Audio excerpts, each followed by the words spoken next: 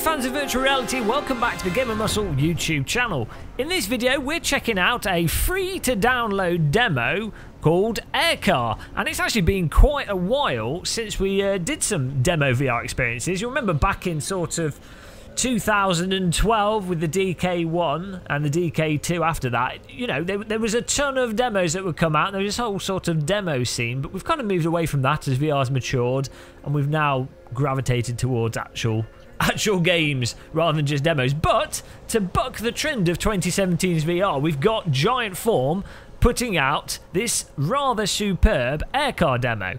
Now you can see that uh, it's basically a slightly inspired by uh, Blade Runner, futuristic city, with you piloting a uh, a I was going to say plane. It's more sort of a, a hover car, a anti gravity car around that city rather nicely, it's not on rails. You actually have full control of your hover car, and they've done a, a really nice job of the physics with it actually having a nice bit of movement, mass, and speed to it. So it's just really from whizzing between the buildings.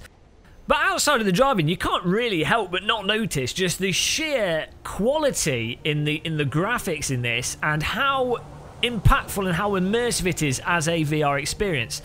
Starting off with the actual cockpit of the car that you're in, the fact that it's raining outside and you've got raindrops that are moving on the on the uh, window panes not only makes me feel like I'm still trapped in the United Kingdom uh, which is which is mildly depressing but it does actually really help draw you in. It makes you feel like there's you know it's actually raining outside and there's actually windows to the side of you which you know are, are acting like windows with raindrops on them. And it's it's really nice and really gives it that sort of damp Blade Runner futuristic feel to it. Somewhat depressing British feel to it which just just makes uh, makes it feel just like reality. So extra immersion there. But the cockpit itself is fantastically detailed, and the individual dials showing your speed, your angles, and stuff really fit in nicely with the theme of the rest of the demo.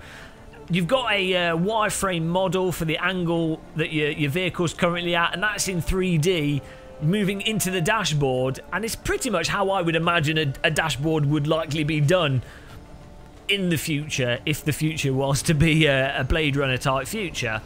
You've also got a, a, really nice kind of wireframe rear view TV screen, like a uh, GTE race car, which is really handy, so you can tell when someone's about to drive into the back of you.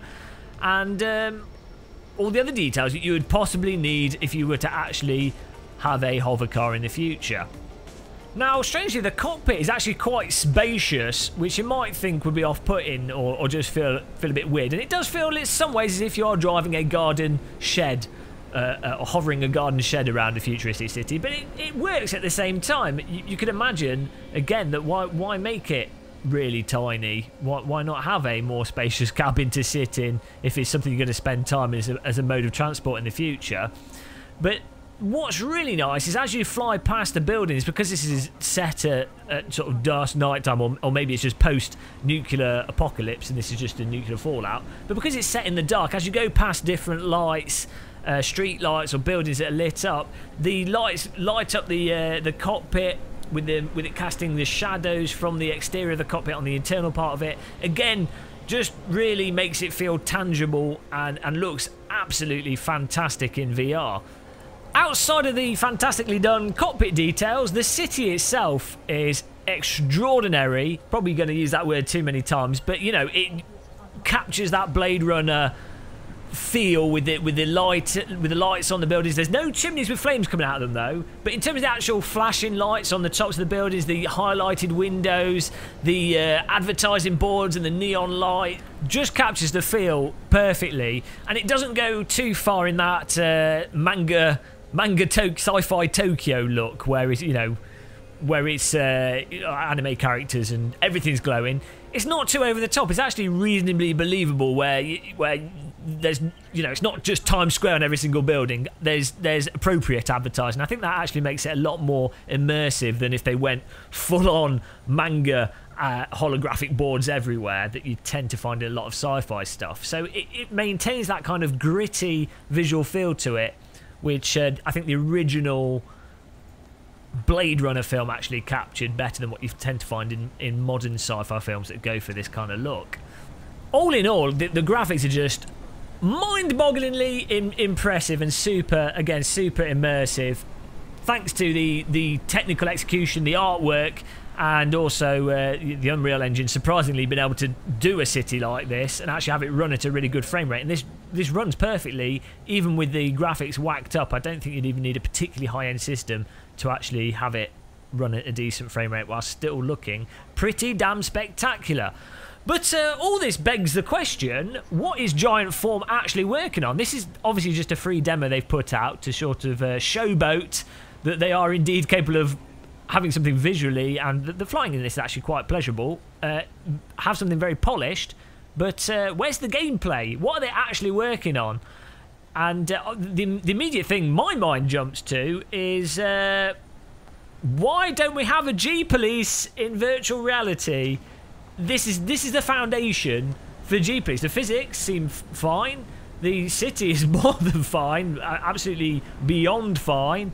Just uh, the G Police missions, some nice rockets, some uh, pesky enemies, and some objectives, and you've got something that, to me, would be uh, fantastic as, as a VR game. So we're going to have to keep our eyes glued to uh, Giant Form's work and what they're doing. I hope this isn't just some kind of media promo with the intention that they want to do stuff to promote films coming out and uh, just graphical stuff. It, it, would be a real shame to not have something like this put into action with, with some nice gameplay. But, uh, you know, we'll have to hold our fingers, fingers crossed and see what happens.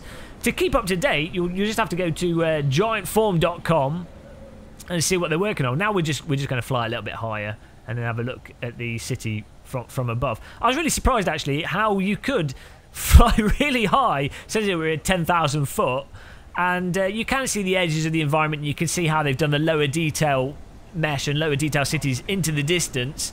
Uh, you can see the quality go down the distance, but it actually still looks pretty pretty decent, despite somewhat taking the piss of where we're flying our vehicle to what was actually designed for you to actually generally fly around in the game.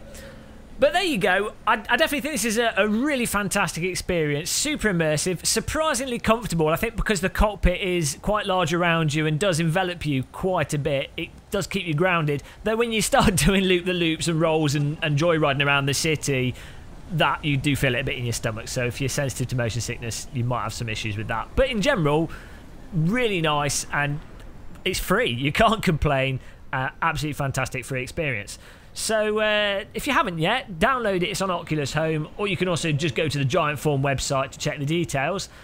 But um, yes, good job, Giant Form. I'm looking forward to seeing what you do. I hope uh, you guys found this interesting. Let me know in the comments what you want to see more of on the channel in terms of VR content. We'll have more VR videos out and more racing videos out very soon. Don't forget to click the subscribe button if you were titillated and excited by this likey dislikey, and until the next one, thanks for watching, and goodbye everybody.